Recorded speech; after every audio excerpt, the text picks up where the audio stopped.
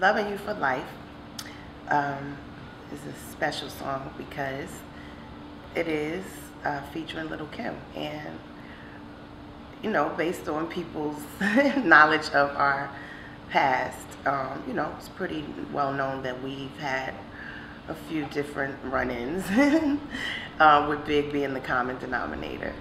Um, but um, contrary to popular belief, I mean, I when Big passed away, you know, I really all of that stuff kind of went out the window for me. But I think um, it over time, you know, Kim is a different person now. She has a, she's a mom, and she may not have really been ready to receive um, the fact that I kind of wasn't really tripping off of any of that stuff for a while. I think she's even said that, you know, why I, you know, probably said hi to her a few times in public or, and I don't think she really was ready to receive my well wishes at the time, but they were sincere. And um, when we when we actually got a chance to um, talk a little more when we were rehearsing for the Bad Boy tour, the recent tour we did, and I told her that I really, you know, want her to be on this project. And she was like, okay. And when I finally got the song, which is based on, we took, I took um, Big's vocals from his song Missing You, which originally featured 112. Um, and I um, arranged it as such so that I could include a verse for Kim.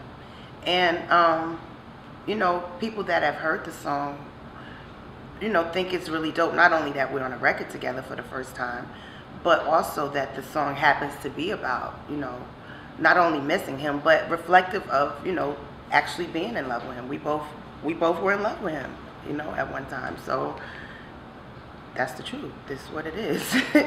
and um, you know, I think people kind of understand that. It's like that's some people say, well, that's big of you, but I'm like, well, I mean, I'll take it, but I'm like, well, she's dope, and the song is dope, and I think it's something that people have been waiting for, and I think it's something that Big is really proud of. You know, um, she did a great job on it.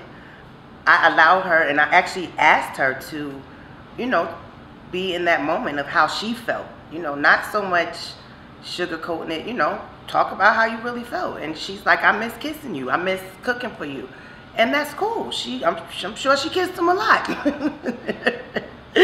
so it's like, okay. I mean, I'm, it's, it's the real world, and I'm woman enough to say, let's talk about it. I think people, you know, maybe it'll help somebody else get over carrying grudges. I don't know, but it's a great song, and um, you know, I, I just can't wait for people to um, to hear it, and hopefully they appreciate it.